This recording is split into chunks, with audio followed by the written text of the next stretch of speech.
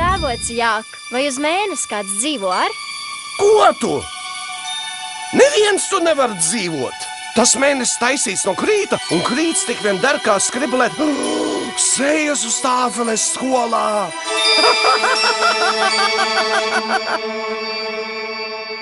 Nezinu, no kurienes viņi rāva tik daudz krīt.